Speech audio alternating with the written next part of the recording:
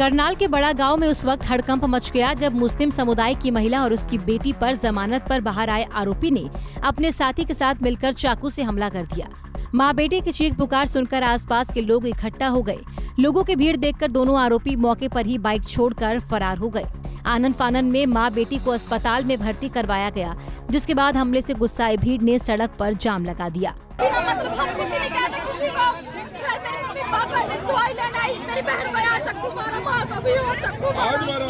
अभी होगा कोई ने हमारे साथ नहीं मेरी बहन को होश है कोई यहाँ का सब कुछ भी इंसाफ नहीं क्या नाम है बहन का आपका? समा ज़्यादा चक्कू लगा उसको बहुत लगा चक्कू लगा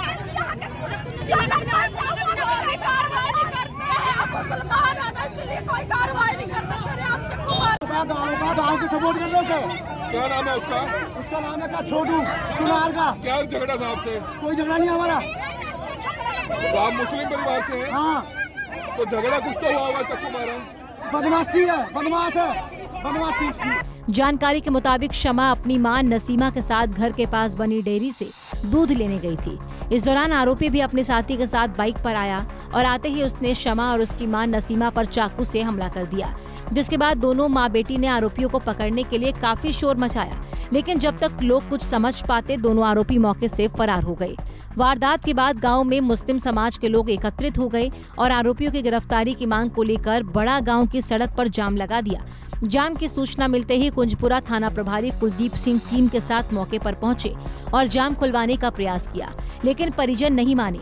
करीब दो घंटे के बाद एसएचओ के आश्वासन के बाद लोगों ने जाम खोल दिया। लड़के ने वारदात करी है, गाँव के अंदर ये पांचवी वारदात है। परसों भी सुनो, परसों भी वारदात करके गया और आज फिर वारदात करके गए, बाहर से रहने वाले हैं, ये गाँव में रह रहे हैं, लेकिन इसने पांचवी वारदात कर दी है। अगर ये वारदात के बाद भी इसके कोई कार्रवाई नहीं होती तो सारा गाँव इकट्ठा होगा आ, हुआ क्या था? किसको चक्कू मारा था पहले? परसों तो इसके साथ हुई है।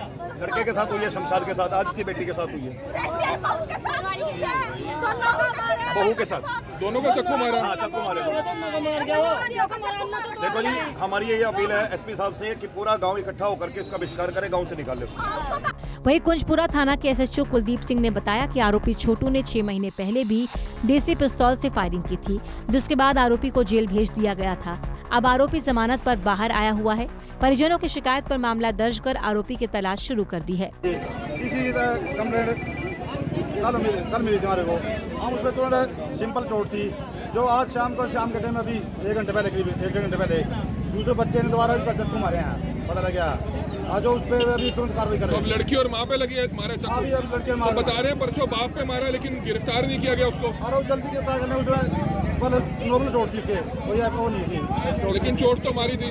हाँ तो आरोपी है पहले भी इसने गोली चलाई है। हाँ पहले आज छः महीने पहले गोली चलाई थी तो उस टाइम हमने तुरंत अरेस्ट किया था उसको। उसमें अरेस्ट होने के बाद उसके फिर बाद में जमानत थी। पहले किस पे गोली चलाई थी?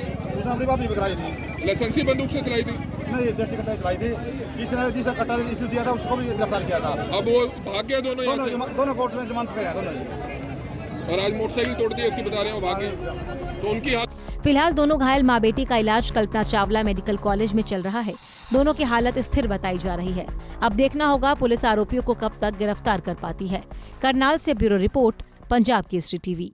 हमसे जुड़े रहने के लिए हमारे YouTube चैनल को सब्सक्राइब करें और नई वीडियो की नोटिफिकेशन के लिए बेल आइकॉन को दबाएँ।